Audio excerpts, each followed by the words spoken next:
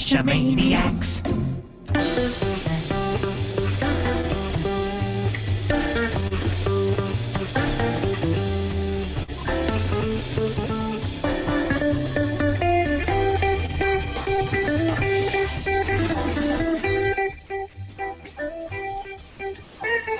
Geo Gearheads. Welcome to any new viewers or listeners. This is Geo Gearheads, a show about geolocation and technology. Of course, we're thrilled to have you and all of our regular audience members join us. I'm Darryl W4 with the Bad Cop and special guest as we're recording tonight about geocaching by UV light. You know, Darryl, this is just one example of a great show idea from our audience. And next week, we have the perfect show for all sorts of audience contributions. That's the Randomized Show, where Darryl W4 and I talk about a number of smaller topic, topics which won't make for a full show on their own. That might be new products, audience questions, tips, or, well, just about anything else we think might tickle your fancy. If you have something to share or would like us to discuss, uh, or anything you would like to share or have us discuss, drop us a voicemail by calling 206 350 3647. You can also email us uh, the text of your comment or question at geogearheads at cacheamaniacs.com. Or better yet, attach an audio recording. Yeah, the audio recordings are preferred over text as we really love hearing those in your own voice. That includes uh, in that you know next week not next week but the week after next uh, for show 60 uh, we're going to have the northern penguin return to talk about the ontario trails project. And that's a couple more awesome shows for our uh, awesome audience to contribute. And speaking of our audio awesome audience our thanks go out to jersey eric for his donation to help keep the cacheamaniac shows coming. Whether you're helping us through financial support spreading the word by news or reviews telling your fellow cashers, we really appreciate your efforts. And that includes the coming Geo Gearheads 2013 Traveler Race, where you'll get to activate and release your own Traveler with your tip. And you know, that can be one you picked up from this very show. And uh, we'll have a link to tb-run.com in our specific race in the show notes for this episode. You know, this race is just for fun, but we've asked for prize donations, and once again, you've come through. Uh, GX Proxy has already shipped us a box of prizes for the race, and we look forward to sharing with that with you very soon. Yeah, the four Freds have already entered their Code Travel Beetle, which is TB4MYH1, in that race, and they shared the tip always waymark your car after having to backtrack on more than one occasion, I have learned this lesson well, especially in the new area. Thanks uh, for Freds and congrats on being the first to enter. Now, we have John Robb, one of the two operators of Cache at Night, and he's responsible for sales and customer service, along with Ron Baker, who, well, apparently does all the hard work. Hi, thanks for having me. You're very well. Thanks welcome. for joining us, and we're glad to have you on uh, to help answer some questions about uh, UV lights and caching. But before we get into that, let's get a little bit of uh, background on you and your night caching. And as I understand it, a lot of that uh, really uh, uh, started to develop, shall we say, through the BFL boot camps. Yeah, yeah. Ron, uh, many years ago, back at uh, BFL number two, suggested that uh, perhaps like, we should try out this night caching thing, and uh, we did uh, some caches on uh, BFL Bootcamp 2, and it was just fantastic. These caches were some of the coolest, best that we've ever seen, and we just finished BFL 7. I've been a contributor for the last two years, as has Ron, and we have a ton of fun doing it. it. Goes from nine o'clock at night till four in the morning. It's just crazy fun we really enjoy it. Now, for those who don't know, and I happen to know, but uh, you know, Bad Cop, I'm not sure you know what BFL stands for. I'm guessing before first light. It, it, I've never heard that one. That Oh, was okay. fantastic. I'm going to write that one down because that was really good. That was really really good. The uh, My mind was spinning trying to come up with something. the uh, the, the common uh, family friendly version is Big Flashlight. Ah, okay. There is a sort of uh, another version that uh, the first word with the B is bunch, Mhm. and the last word L is lunatics. And I'll let Mhm. your listeners fill in the F part. furry. Sure. Yeah, now I know that uh, up there in the uh, Toronto area, there's uh, just a ton of those uh, great winter uh, events and you know late uh, uh, fall, early spring because it is uh, dark longer and earlier and all that kind of stuff. Yeah, it. Uh, you know, as I look out the window here tonight and it's dark, it's an 9:30 at night. So of course it's expected to be dark. But in the middle of winter, at 4:30, 5 o'clock, it starts to get dark, and we kind of like to go geocaching. And if you don't go geocaching at night, you get a really small window of which you can go caching, and we want a really big window. So we've decided that nighttime will not get in the way. Yeah, I don't like the uh, cold so much, but uh, it, you know it is a perfect chance to get out there and do some night caching if uh, you have night accessible caches and they're not buried in snow. Uh, yeah, well, you know, summer, winter, it doesn't really matter to us. Warm, cold, rain, wind. Uh, just wear the right gear, and uh, you can go caching. You know, our friends out over in BC uh, or North U.S. Northwest, it rains a lot, and I'm pretty sure they cache in the rain because you don't have a choice. Uh, you know, maybe you'd be limited to five days a year where there's no rain, and you need more than that. well, we got to keep our feet webbed Web. out here in the rain. Yeah, that's exactly it. And you know, one of the things I love when I'm out uh, caching at, at night and uh, we start to hear those coyotes uh, howling, that's part of what makes night caching a whole different experience. Is there's different sounds, there's different feelings, your vision is limited, you the camaraderie with the people that you're with, and heaven forbid somebody is afraid of a noise. Uh, that becomes a lot of fun. yeah, the, the thing that I really like about caching at night, though, is you've got uh, some really great caches that are specifically engineered to only work at night, and they really take that uh, caching to a whole nother level. And Yeah. I just wish we had uh, more of those out here. The you know in our my area, we don't have a whole lot of uh, areas that are open to night caching. You know, they actually close at you know sundown, so you can't legally put a night cache in there. Uh, so that's been my big thing is I really want to do more night caching. you just have to find the right kind of places. Some places, uh, when you are sort of in the northern areas, uh, they don't close at dusk because, again, in the wintertime, that'd be 5 o'clock at night. So they close at some predetermined time, you know, 9 o'clock, 10 o'clock, 11 o'clock. And so that does leave you a fair amount of time where you can still do some night caches, and uh, you just have to find the right location. That, But that is tricky, that's for sure. Yeah, and that's where our uh, few night caches are is in those parks that have a hard time of you know nine o'clock, which is tough in the summer because sometimes in the summer you know sunset isn't until after that. Yeah, the uh, two big days of the year for us is the summer solstice and the winter solstice. The summer solstice, it's getting more dark. We like it. Winter solstice, that's the longest night. We like that. Everything in between, well, we just take our chances. I like that. Now, one of the reasons I like night caching is because it takes away a lot of that geo sense that you have during the day, where you can stand in a spot and look around for 50 feet and say, oh, it must be over there.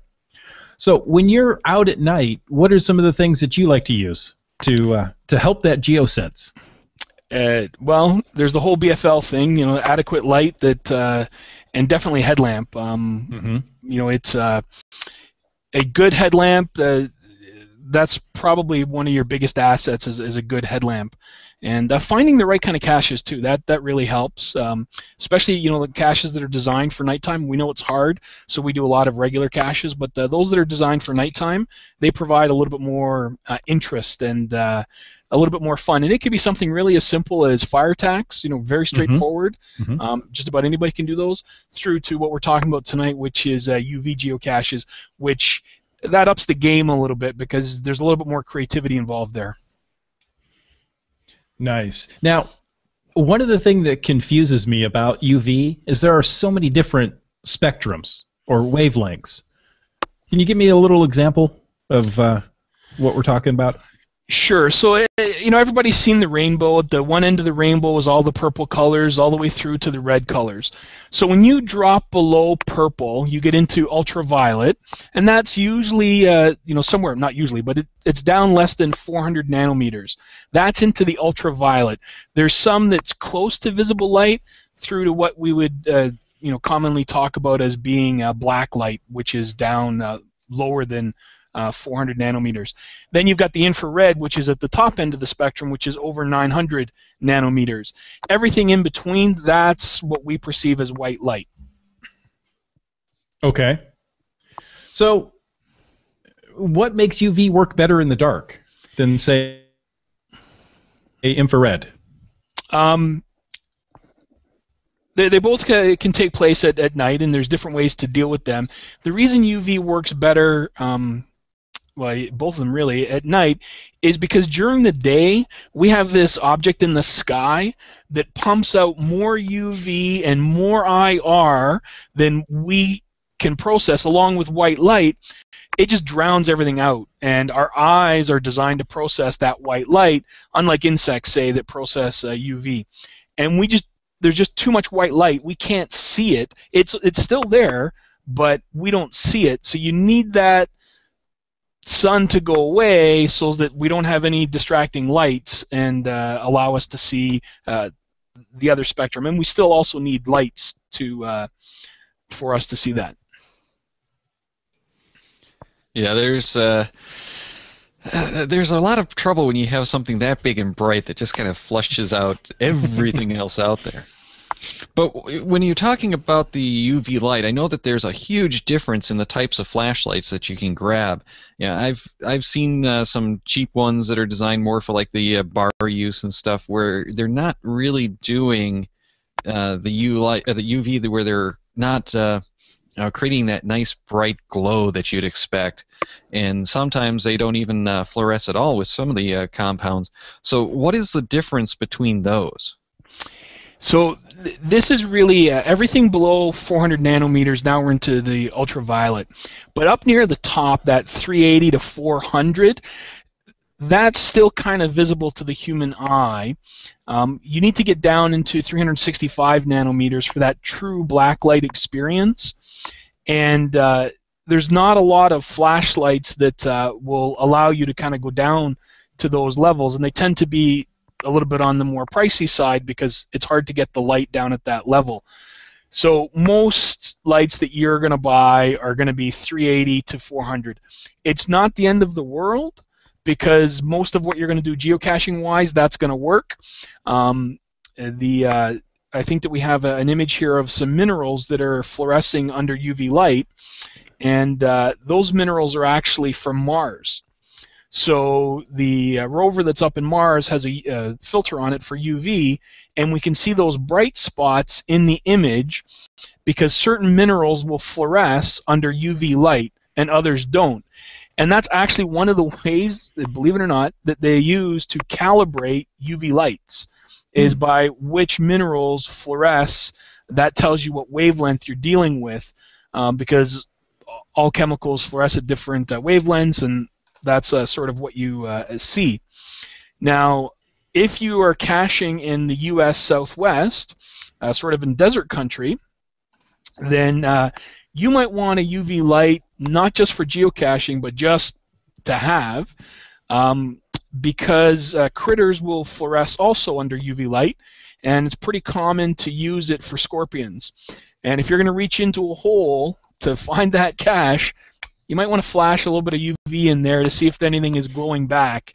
Uh, and if it is, then uh, maybe it's time to get the grabber to uh, to take that uh, cache out of the hole. Yeah, this is going to be another show where uh, uh, those of you who are listening to the audio only might want to actually swing over to the YouTube link and actually check out some of these images that we are showing.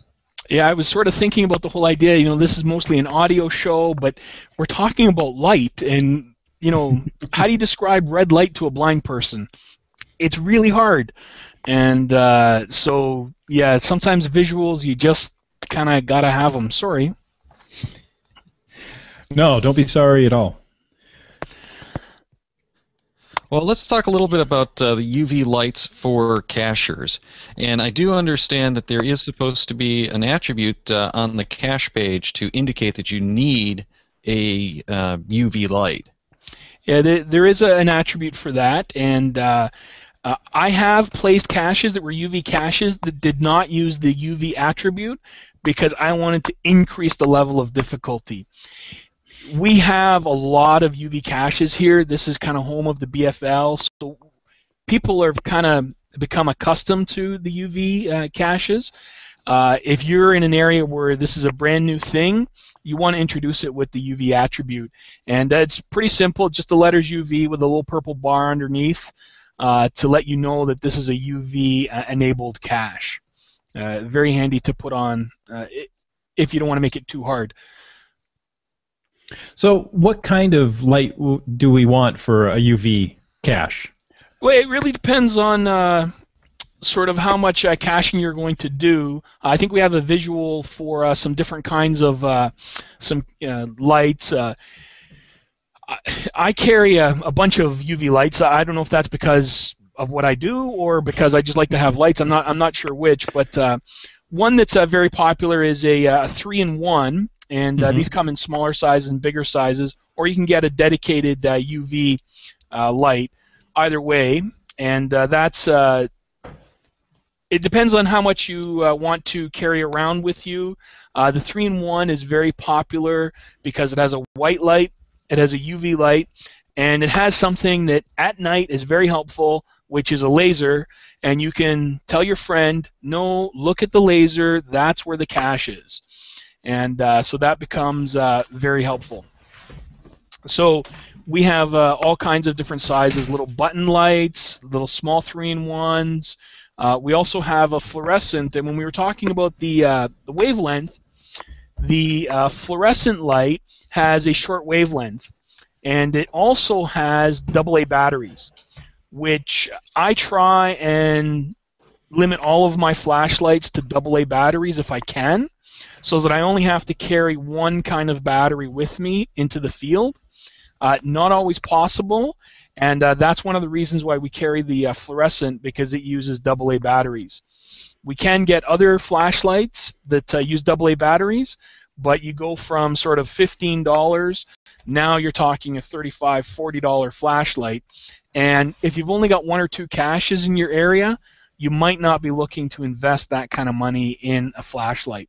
So the prices range, you know, a little button light is about a dollar fifty, through to a three-in-one or a, a, full UV flashlight of about fifteen dollars.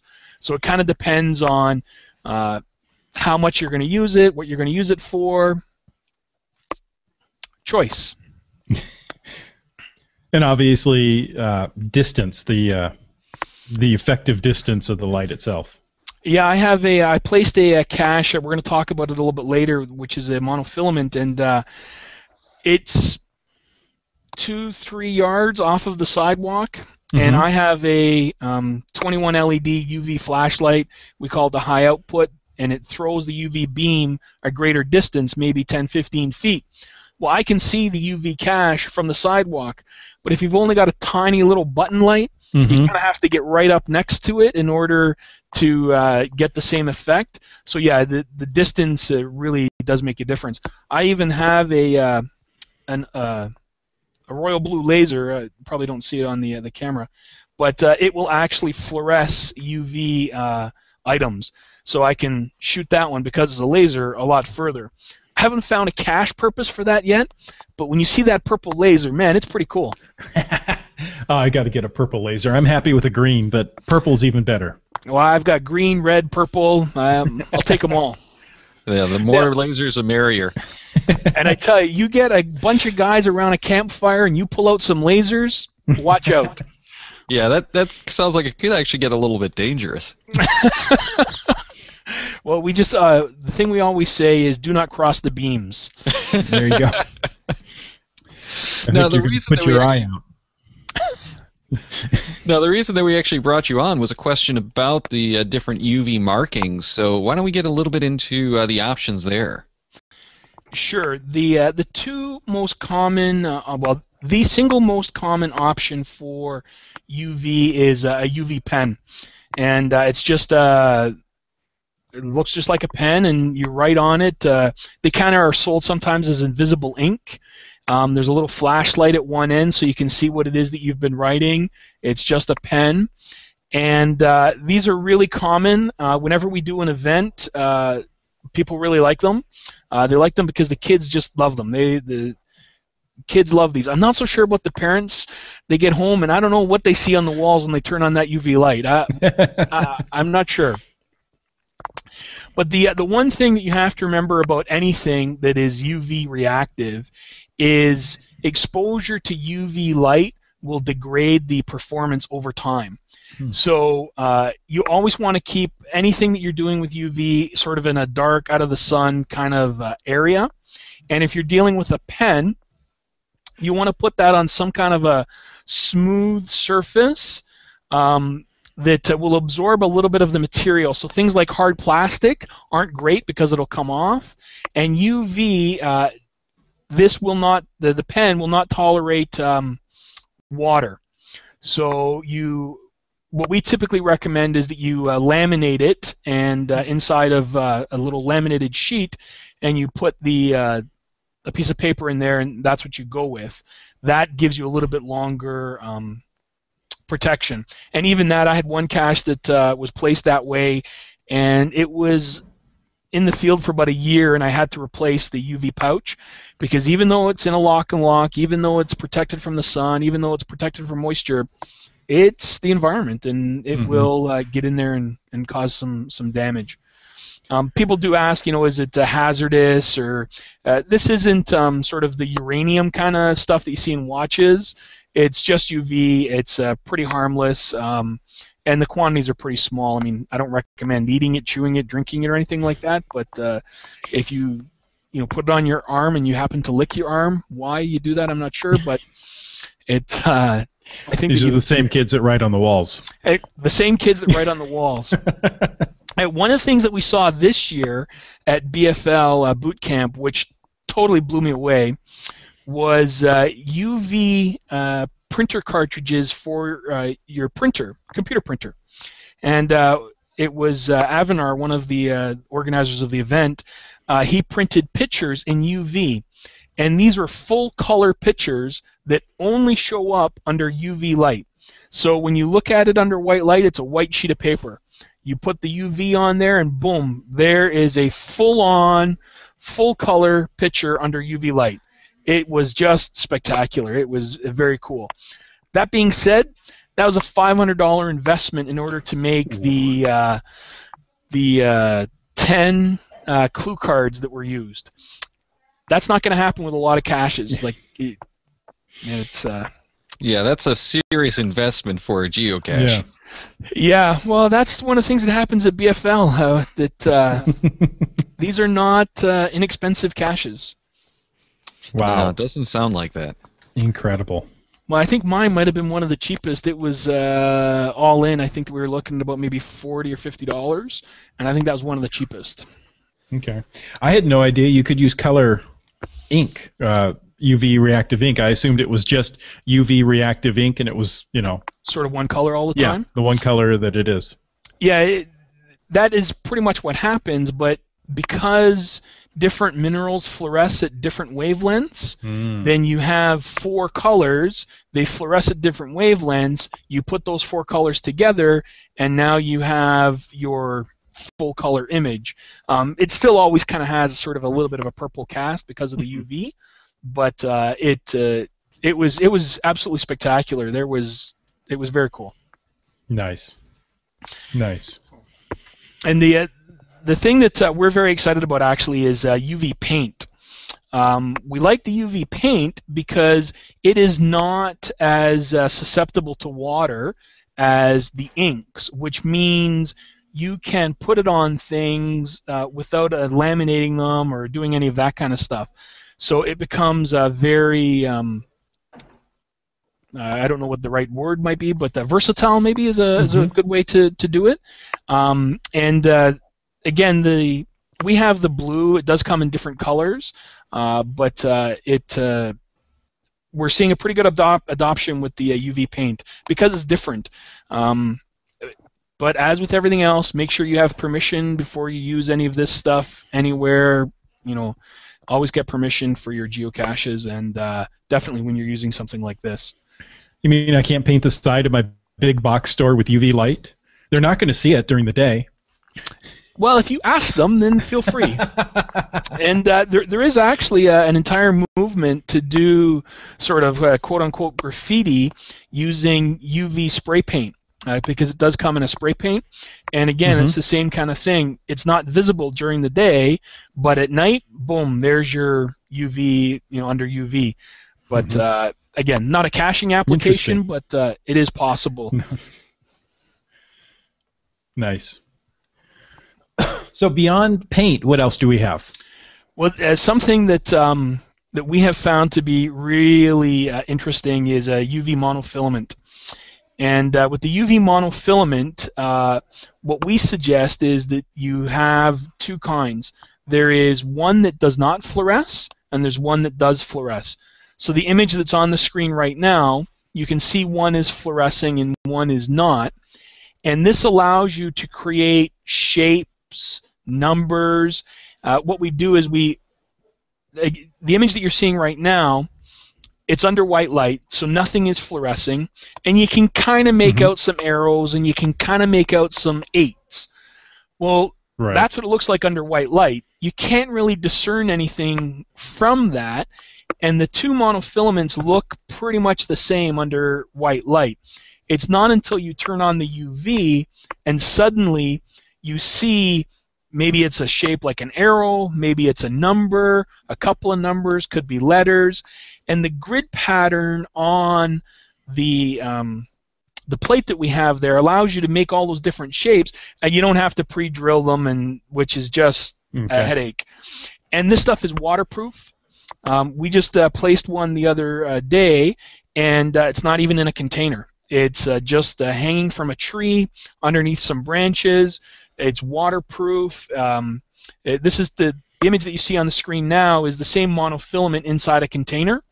Um, and it's under white light. This one is actually in the field. This was a cache that we did, uh, we visited, uh, and uh, that's what it looks like under white light. You can't tell. You you have no idea what the numbers are until you hit it with UV, and now all of a sudden you can see the coordinates start to come out.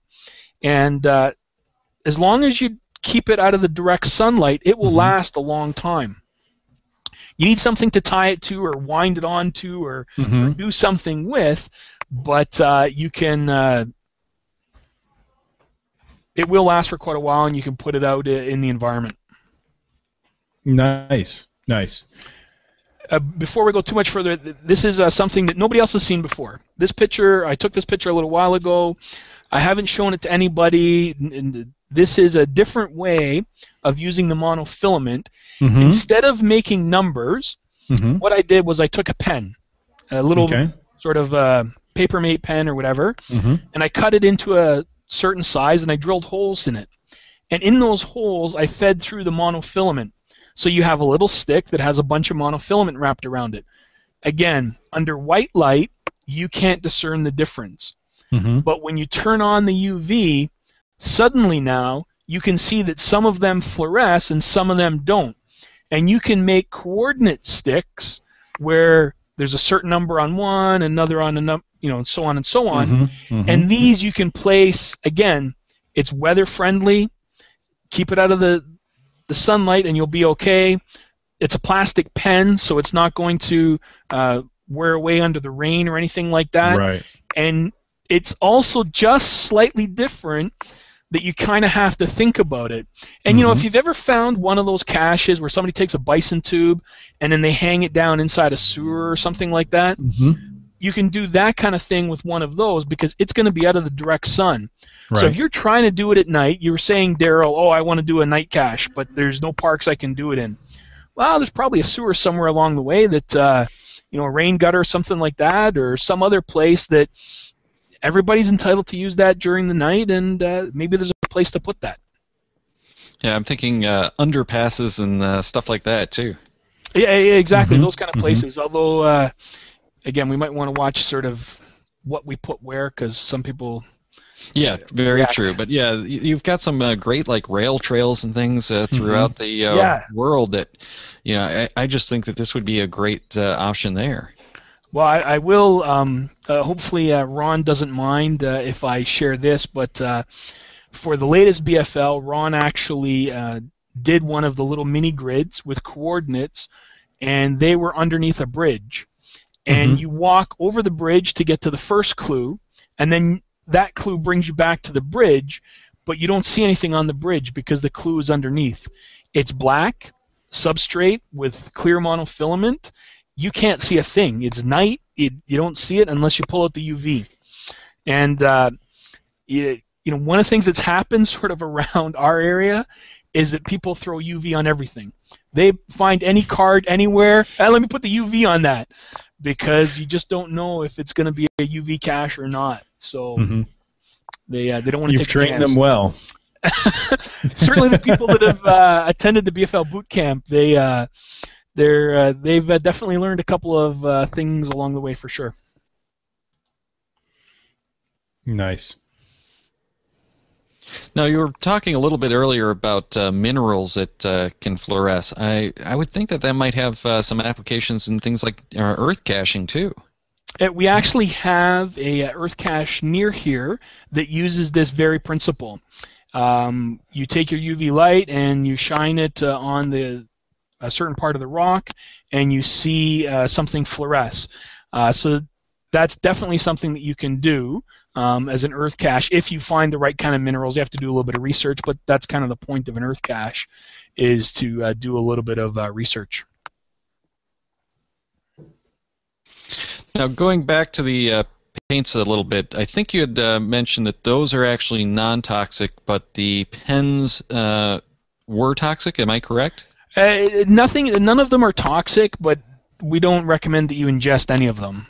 Okay, because that had been one of the questions that uh, prompted this discussion is uh, toxicity of the uh, various uh, um marking uh, items. So I would assume that the uh, monofilament you wouldn't have to worry about at all because it's basically just a plastic uh, um, strand, and if that comes loose, then of course it would have issues. But yeah, and, and most of the monofilament is in really small sections. Um, it comes sort of as a 10 foot uh, length, but you end up cutting it into small pieces to do the Mhm. threading into the uh, the coordinates and whatnot. So even those are usually, you know, they're only at most a few inches long. Um, you know, people have been putting uh, UV uh, inks on their hands at uh, bars and other events for a long time, and uh, it's it's not. Uh, there's been no issue thus far. Right. Well, and that actually brings up an interesting point too, which I don't think we'd want to actually use for caches, but might be interesting for like a, letterbox hybrid. Is what about the uh, UV stamp pads? Eh, yeah, yeah, that would be uh, very interesting uh, to, to do. Yeah, my concern would be they're probably water soluble, intended so that you know when you go to the bar and get your hands stamped, it will actually wash off instead of stay on for you know four or five weeks. Uh, that is the challenge. I mean, if you've ever been out, you know that those things don't come off all that easily, but uh, yeah, it, it will eventually come off, which is why you know it's not suitable out in the environment uh, in a cache location by itself. Yeah, that makes a lot of sense. So you're saying the uh, the paint is far more permanent. Yeah, the, the paint lasts uh, a, Mhm. a good long time. The uh, Okay. So why don't we uh, talk a little bit about how you'd actually use this in your uh, cache to make the clues? Sure. One of the the things that we've discovered over the last few years of uh, doing BFL boot camp and whatnot is you need to, uh, just like a good magician, you need to divert the eyes. You need to uh, give people something that makes them think that they've actually found what they need. So the image that you have on the screen right now shows a card that has coordinates printed on it in white light and UV light. And under white light, there's black coordinates, and the, the black on white is exactly what somebody expects to see. The coordinates take them to a location, they see those, and off they go. Uh, but when you hit that card with UV, you actually see that there's a second set of coordinates. So pretty much with all UV caches, you kind of want to give either a decoy or don't make it so that if I hold the card at a certain angle, I can kind of see where the paint is and mm. you know make it shiny and depending on how hard you want to make it actually. I mean, if you don't care if it's that hard, then do whatever makes you happy, but uh, I come at this sort of having or, been part of the organization team for the BFL boot camp, and we strive to bring innovation and interest and not necessarily make it so easy. Um, so we're always thinking, uh, what little trick can we do? Uh, devious. I like uh, that devious. Uh, yes, a, a very good, very good word. That, that, that's uh, yeah. Yeah, and obviously, if you have something like those uh, cards, that would be uh, be something that you'd want to keep in a uh, container of some type, so that you weren't exposed to the elements. You don't want to expose to the elements, and you don't want to be exposed to sunshine. The way things work um, for UV is they react with the light as it hits it, mm-hmm. and so any UV that hits that object, it's going to react, and that reaction breaks down over time. And so the more UV you expose it to, the more it breaks down, and eventually you don't really get the reaction anymore. And now you have to either go and reapply or make a new card or do something else, uh, which is the same with the monofilament. You don't want to expose it to direct sunlight. Yeah, and exactly as we've been saying throughout the show, the sun is this the largest source of UV light we have available to us. Eh, yeah, somebody actually asked me one time, you know, oh, I get this UV flashlight. Is it safe for my eyes? And I don't recommend you point any source of light directly at your eyes, mm-hmm. but the sun puts out more UV more consistently over a longer period of time than any one flashlight that uh, you're going to have, unless you sat there for a while pointing it straight at your eyes, which we don't recommend uh, at all. And kids don't sit and stare at the sun either. And yeah, exactly. yeah, that'll hurt. Now, okay, we've talked about putting in the uh, coordinates, but and you mentioned though you had those uh, uh, sticks with the uh, wraps on it, so you know, we we obviously don't have to do just coordinates as our clues. No. So, you... what are some of the other things that you've actually uh, tried? Well, we, we do have the sticks that we showed the picture of. They're shapes, so you can do a different kind of a shape, um, whether it's you know simple as the the picture showed as of an arrow, or you know you can make sort of uh, geometric kind of shapes, you know squares, uh, octagons, rectangles, whatever shape it was that you wanted, um, in order to do it. And you can even do something again also devious is if you take a stick like just a plain old stick and you drill holes in it and you wrap some UV monofilament around that, mm-hmm. and you mm-hmm. put that back in the woods, and that's your coordinates. Ooh, baby! Now you're talking a tough cache, and because uh, there's nothing sort of to really give you that indication, and especially if you list it as a night only cache, mm-hmm. and now there's nothing to really indicate that hey, that's what I'm looking for. That one could be really tough. Um, it, it, again, it depends on how devious you want to be or how tough you want to make it. Uh, you can go from easy to hard. Nice. And one of the things that I would worry about too would be, uh, at, you know, how you actually do it. I think I'd want to probably do something on like a sticker or you know plastic or something like that if I was going to just stick it out somewhere, because things like that paint that you mentioned are going to be there, uh, you know, pretty much permanently until they get painted over or something. And I don't think that I'd want to uh, do that, especially without permission. Yeah, that's that's kind of the, the big key, right? In geocaching, we don't want to do anything that uh, you can't easily remove. So paints, glues, any of those kinds of things are always uh, um, something that you need express permission to do. Um, I did a geocaching event uh, for a corporation, and they allowed me to put UV on one of their corporate signs so that when people came there, they had to find the UV. So, you know, they thought that that was pretty neat, but that was an explicit permission kind of mm-hmm. deal. Um, again, as with anything geocaching, get the permission. In most cases, I'm pretty sure if you went and explained to somebody, I've got this UV paint that's invisible unless you shine UV light on it. Uh, I want to put it on the back of your bench. Uh, I don't know too many people that would object. Some will, I'm sure, but uh, it's the kind of thing that uh, maybe is not that big a deal. Yeah, Mhm. I could see one of the obvious objections would be what happens when they want to uh, restain the wood on that bench or repaint the tunnel. Is whatever paint that they'd use uh, going to uh, cover that well? Uh, the very, very good concern, very valid concern. Um, again, as with anything in geocaching, get the permission first. Uh, explain what it is that you're trying to do, and uh, you know you might find a, a compromise along the way with the people that uh, you're working with, where they go, okay, you can't put it here, but maybe over here will work for you. Um, Mhm. My experience has been that uh, when you explain what it is that you're trying to do, uh, most people are kind of understanding, and unless you get some kind of hard-nosed person, uh, in most cases they're pretty reasonable. Sure. And as we kind of have gone over already, you know, you can put it on anything from like paper to metal to wood and you know plastics, so stickers, that kind of stuff would uh, Mhm. work well. Exactly. So you could come up with uh, something that might not be as uh, uh, as uh, invisible as putting it directly on the object, but there's always going to be a workaround. And I, you know, I could see taking some kind of uh, metal plate that's just you know a number stamp, uh, you know, as if it's like a, a identifier on a tree or you know something to that nature, and using the UV on that uh, metal plate so that it's not something that looks out of place on the object, but that's not actually on the object directly. Yeah, that's exactly uh, what we talk about when we talk about decoys. Is if you take one of those kind of looks like a marker kind of idea, even if it was uh, you know those flat magnets you can get sort of sheets of, and you you know make a number and you put that number on a magnet on something that's metal, but in fact you've got UV on there for different color or for different number.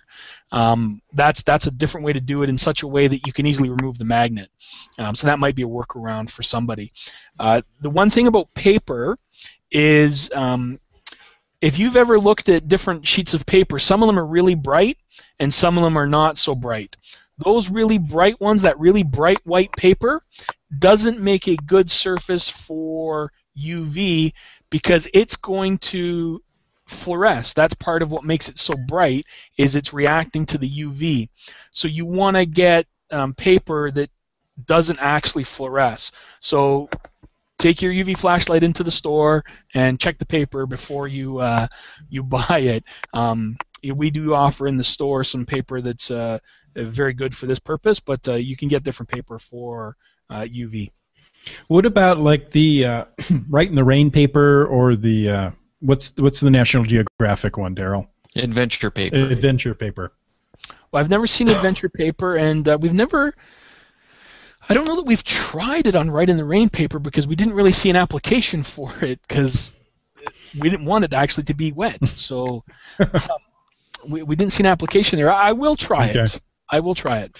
My mind keeps going to taking a an old fence board, you know, and, and spray painting the uh, the numbers on it. You know, having numbers taped on and then pulling those off so they would be the dark spot on the uh, fluorescent board, and just laying it face down at uh, ground zero. That's a very good idea. Uh oh, I gave it away. Yeah. Go ahead. You can have it. well, we've talked about the uh, far end of the spectrum with UV now. Before we uh, uh, let you go, can you give us a little bit of uh, info on the IR? Because you mentioned that that was at the opposite end of the spectrum.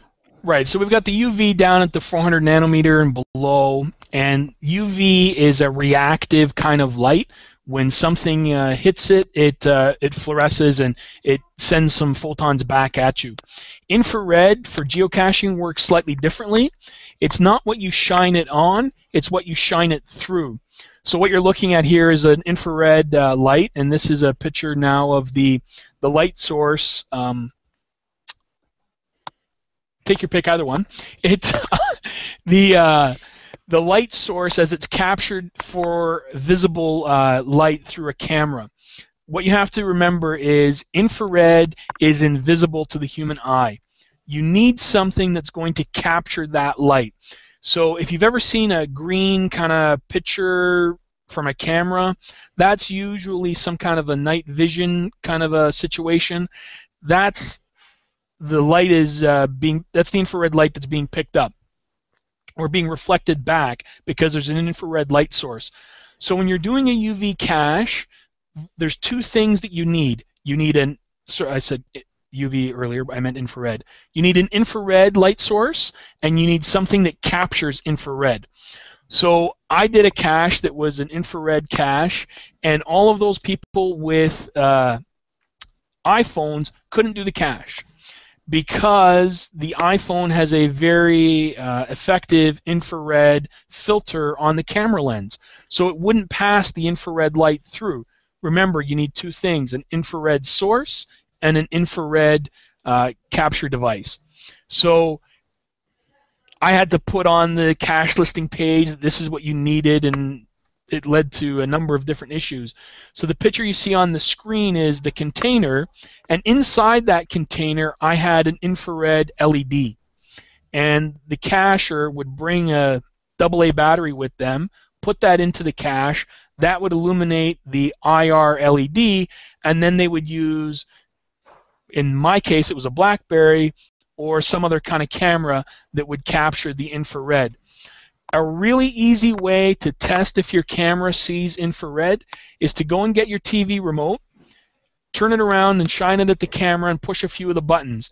If you see that the LED lights up in your camera, then mm-hmm. your camera will see infrared. If it doesn't light up in your camera, then you need to find either more powerful LED or a different camera. So with, oh, go ahead. I was going to say, I, I with my uh, iPhone 3GS, I used to check remotes all the time to see if their batteries were dead because that one did not have an IR filter. Yeah, I never even thought about that. Man, I'm learning stuff hanging around with you guys. this is good news for me. So, would you consider these caches, either uh, UV or IR, to be a difficulty five cache because you need special equipment? Oh, we we have talked about that a number of times because of the presence of the UV attribute, I don't know that I would put it into a difficulty 5 mm-hmm. um, because there's a, an easy way to sort of say this is a UV cache, or, and if you bring the UV light, it's really not that, that difficult. It's just sort of the light that you need. Okay. Um, infrared is a little bit more tricky because um, you need to do a, a few different things to kind of sort all of that out. Um, but uh, I don't know that I've listed any of mine as being um, difficulty five. Okay. Good all right. Know. Well, thank you very much for sharing all of this uh, great information. And you have a lot more information that you share on your uh, website as well. And you do have a blog along with the uh, storefront. Can you kind of give uh, folks uh, some, uh, you know, tips on getting more information from that site? Sure. I, I actually uh, prepared a blog post about ultraviolet and infrared uh, caches so people can read up a little bit about it with some examples. Uh, if they just go to our uh, blog, uh, cacheatnight.com slash uh, geocaching, and then look for the ultraviolet, there is a link that will be in the show notes um, so people can find that. And uh, there's also a bunch of products uh, on the site itself. All everything that we talked about uh, here tonight: the lights, the paints, the pens, the papers, the pouches, the monofilament. Uh, that's all uh, listed on the website as well. Yeah, an easy uh, one-stop shop for anyone who's uh, interested. Uh, but we have had a, a, uh, couple of comments in the uh, uh, chat for this show, wanting to know where they can find these type of caches. So, could you give them maybe your caching name or and some of your friends' caching names to check out these really ingenious caches? Sure. Um, if you look me up, I'm Team Voyager. no E at the end, so it's a Team Voyage G, then an R, no E. Uh, just look me up, Team Voyager, or uh, go to uh, our website, cacheatnight.com, and in the About Us, there's uh, some description of uh, Ron and I. Ron's Baker's Dozen. I'm a Team Voyager. And on my profile, I link to a bunch of the BFL uh, caches. And if you just do a search on Google for BFL Bootcamp, you'll find the website for BFL Bootcamp, and that will take you to uh, a bunch of resources around uh, night caches. And uh, about a year or so ago in Ontario, there was, uh, I think it was seven UV caches, and I think we're now approaching 40 uh, UV caches. These are specific uh, caches for UV, um, so it's gaining in popularity uh, locally here anyway. Nice, nice. Now, you also uh, uh, have a little bit of an incentive to get some of our listeners uh, off their butts and uh, ordering uh, uh, their supplies to try out their own UV caches. So, why don't you let them know what that is? Sure. Um, we we actually started the whole company because we wanted to make a geocoin. Cache at Night uh, was our geocoin. So uh, anybody that uh, orders $25 or more worth of product can get a free Cache at Night geocoin. All they have to do is add it into their shopping cart when they've got their 25 items, $25 worth of items, and uh, they will get that at no charge. That's a $12 value. Uh, so if they just go to our website, cacheatnight.com, look around for some products, and once they've got some things, find the geocoin in the geocoin section and add that in, and they will get themselves a free geocoin. Oh, Excellent. That's very nice. Yeah, I'm just excited to give people a little bit more push to uh, hide some UV caches because I really want to find some in my area. well, you know, Darryl, you have been invited twice to come up to BFL boot camp, and we've yet to see you. Is it because it's cold in October? no, no, it's because of scheduling conflicts. Well, see, it's still a day's drive, uh, you know, there and back kind of thing, and I, you know, I really want to make it, but. Uh, scheduling can be such the uh, problem. You know, real life gets in the way of our caching constantly. well, it, it goes from nine o'clock at night until four in the morning. Drive up on the during the day, cache all night, and then drive home the next day. See, I need the autonomous cars so that I don't have to actually drive and I can sleep during that point. Uh, that's why you need a driver. Yes, you need a driver. exactly. 9 p.m. to 4 a.m. Very few people are actually working during those hours. It, it's a it's the driving to and from and getting the sleep so that you don't crash that's the problem. Well, you'll be happy to know that the BFL Bootcamp has been going for seven years. Some of the first BFL Bootcamp caches are still active, so you can come and make an entire week of it, Darryl. Oh, I, am sure I could, but I think I'm I'm going to need some help for a lot of those because uh, I I've seen some of the. Uh, uh, stuff coming out of those boot camps, and I'm not ready. well, this year, um, I know we're just about wrapped up here, but this year we had uh, two streams. We had the Virtue series and the Sin series, and the Virtue series were kind of a little bit more newbie friendly, mm-hmm. and the mm-hmm. Sin series not so much. Okay, see, I'll, I'll, go for the newbie friendly ones at least initially, because you know I, I, I, just don't have enough experience finding uh, night caches yet. Uh, you're welcome to join us anytime. Very good. And don't forget that uh, those of you watching or listening to this, you can uh, join us live again next week as we do our randomized 10 show. And the following week, we're going to be talking about uh, the Ontario Trails Project. So, you know, drop us a note uh, if you have something you'd like to have talked about on the randomized show or uh, even on that Ontario's Trail project, which if you're going to head out to one of those BFL boot camps, I think you'll want to check that out. Exactly. Don't forget to check the Cacheamaniacs website at cacheamaniacs.com for more on the Geo Gearheads, including show notes from this and all our episodes. We love hearing from our listeners, so leave us feedback by calling 206 350 3647, by emailing geogearheads at cacheamaniacs.com, or through social media. Your support help keep, helps keep the Cacheamaniac shows coming. Please consider making a PayPal donation through the link on our website to support the Cacheamaniac shows. Geo Gearheads is produced by Chris Umfenauer and Darryl Wattenberg. This show's copyright 2013 by Darryl Wattenberg. All rights reserved.